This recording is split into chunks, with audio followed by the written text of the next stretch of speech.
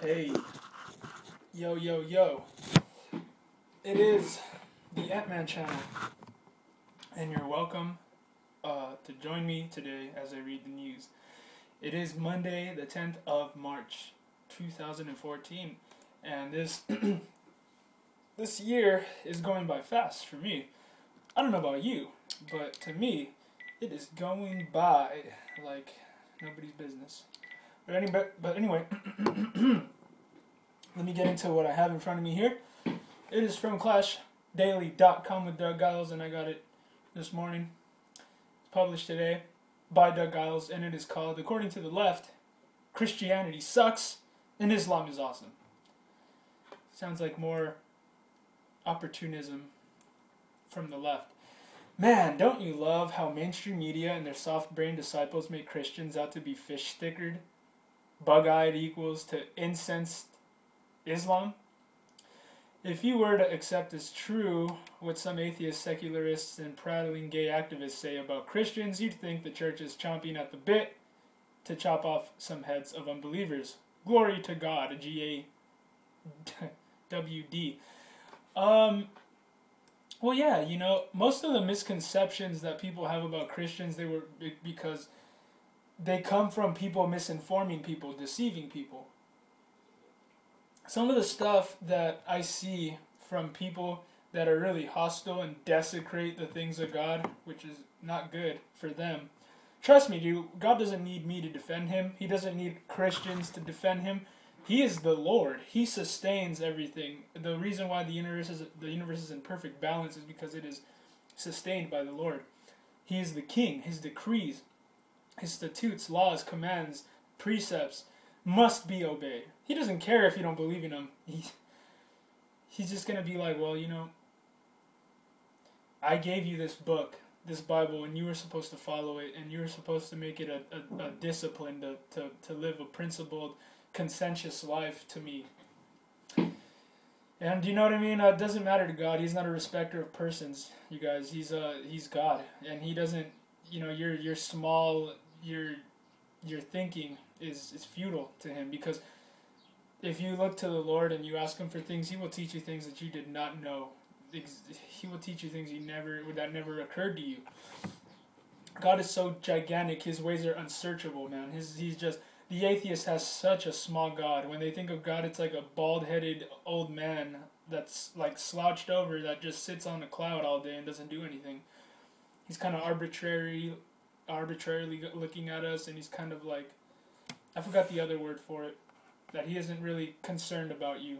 He's not really cares about you. The God that I know, the God of the Bible, he doesn't care how minute or whatever your your problems are. Whatever your problems are, he wants to know about them. Even if they seem to be small to other people, they're not small to him. The uh, the those type of like private schools that bring you up in in the Word of God, usually people become those are like atheist training camps because those people are not really showing you the proper way to worship God. It is out of love and not out of fear. The thing that religious hierarchies, if you will, have a problem with is that they try to control and manipulate people with the Word of God through fear. And that's not right because that's what turns people away. You gotta show people that look, dude, this is you can't share the gospel without sharing the state of nature that we're in first, the bad news, if you will. It won't be good news to you unless you know that there is bad news. We're not inherently good people. Even me, I love. I, I most of my life, I loved God. I believed in Him. I, I searched for Him. I didn't really know Him, and I really wasn't saved because I didn't really accept His laws in my heart. And sometimes you don't even know that that's going on with you. But I, you know, was living in sin I didn't know that I was inherently bad even and I had one of the worst things you can ever have is which is self-righteousness.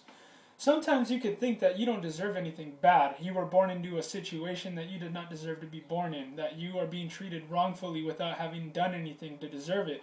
All these things are irrelevant. Life's not fair. This is what the atheist cries about all day, and that there's no God because I don't like bad things and bad things happen in life, therefore there's no God. It's a it's a weak argument to to just dismiss the the creator of everything. It's like your father. If you were if you didn't if you were born and you didn't like your father, you're gonna hate him and you're gonna and I know what real hate is. Real hatred, and you might not know you actually hate something until you really examine what hate really is. When you ignore, when you ignore completely the existence of somebody, people do this to other people. And people don't even realize that they do this with God, but that's true hatred. When you ignore the existence of somebody just because you absolutely hate them. You want to ignore the fact that they're alive and that they exist.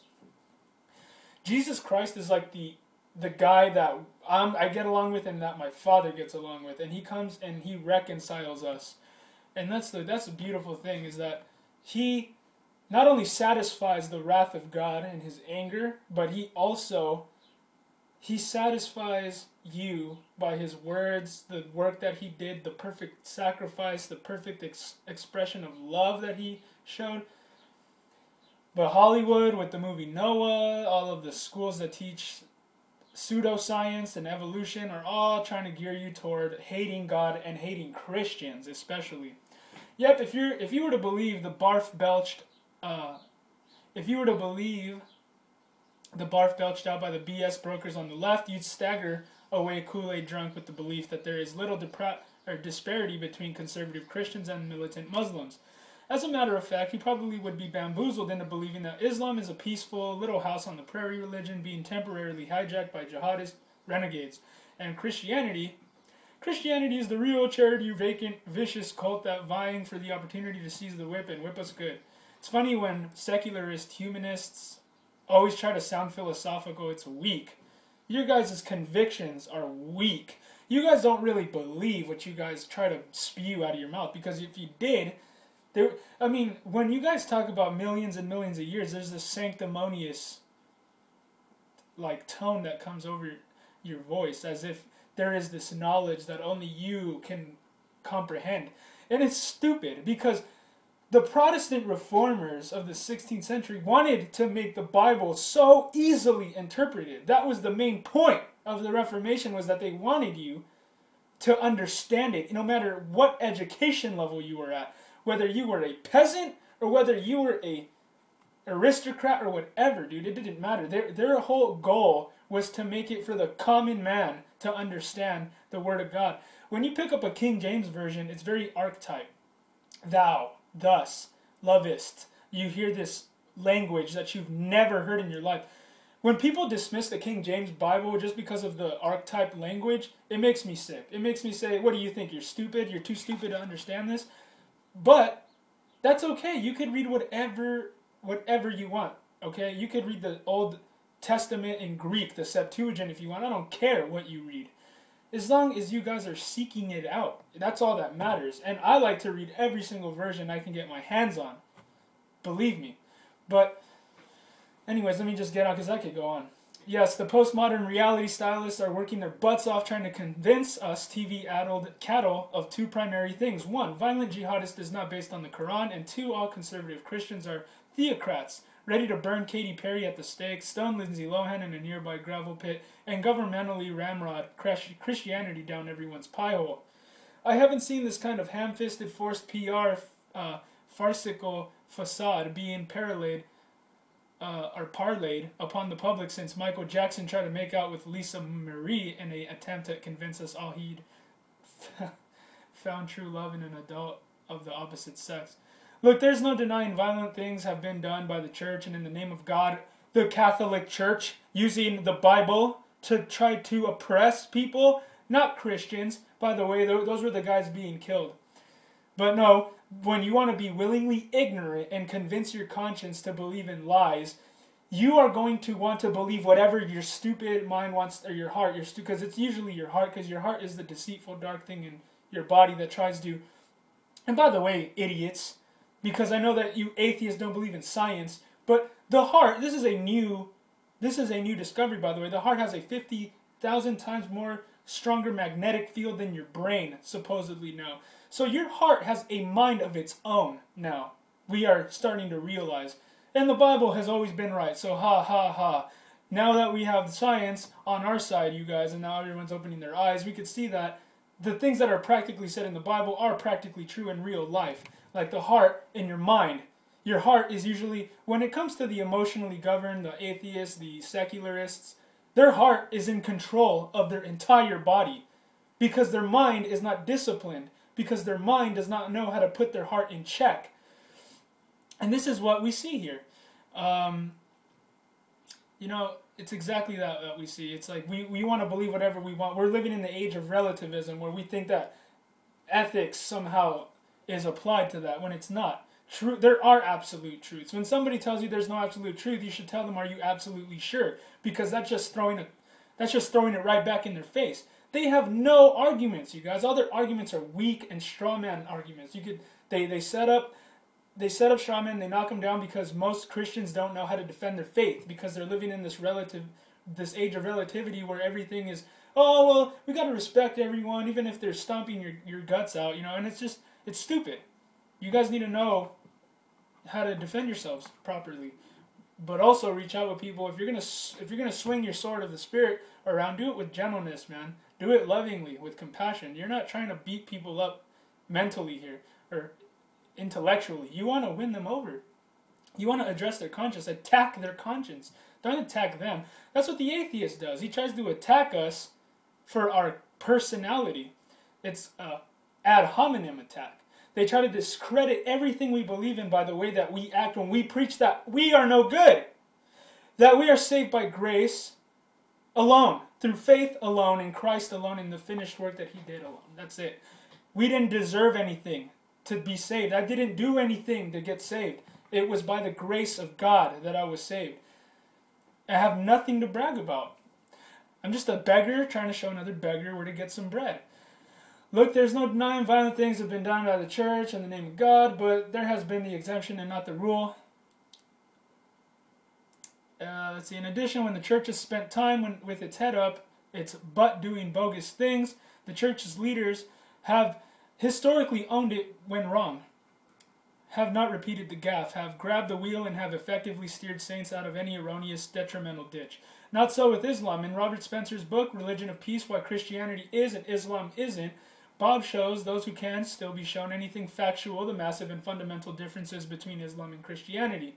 They are not equal no, no matter how much the blah blah blathers of political correctness purport them to be. Their beliefs are not similar, not their practices nor their means to spreading their message. And to think otherwise, postmodern Pollyanna, Pollyanna could cost you your ass. Spencer points out the crystal clear facts that clash with the current anti Christian hype, such as most, most Muslims do not condemn jihad. Christianity and Islam have neither similar traditions nor similar modern realities.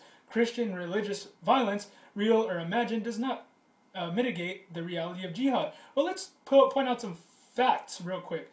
Where is that religion, Islam, at? Look at the area and the region and the shape that their country is in where that is going on. Now look at where all of the all the places that were inspired by the Word of God and Christianity uh, think about what has happened throughout history with people who have stuck to the word of God. They have got liberty. They have got freedom. This is a this this country, the United States of America, is a republic. But now that the progressives or the modern day liberals have gotten the, the hold of the the um, what we'll call political correctness, they got the uh, they control the narrative because they own the mainstream media that brainwashes everybody and tells you that oh the jobs are we're putting jobs in the economy. There's no problem here. All these people are trying to rewrite history. They're they're willingly ignorant of the things that inspired people to write to write the constitution the bill of rights the virginia constitution the uh, northwest ordinance. All these people were no they weren't christians you guys even though they mentioned god all the time even though they made their points very clear. It doesn't matter because we know them better than they knew themselves and their convictions. It's their entire philosophical views, their worldviews are imaginary and perverted, all of them. They put all of their faith in man, not knowing that man is so. You don't put your faith in man, you guys. We are no good. Plus, I, no matter how good I try to act, I'm going to let you down because I'm flawed. But, anyways, if you guys want to read the rest of this, just go to clashdaily.com because I had to go and I had to talk over this whole thing because it's propaganda, you guys. The, the, the reason why you see so much hostility toward Christians these days is because they are being brainwashed. Prop, there's propaganda everywhere that shows you that us Christians are not to be trusted, that we're not to be, you know, the IRS, it, eh, they, they, they target conservative and Christian groups. Look at this, it's all around you because they don't want to know the truth because they want to have the world their way, which is orgies and Baby sacrificing and all kinds of dirty stuff. But God bless you and have a good day.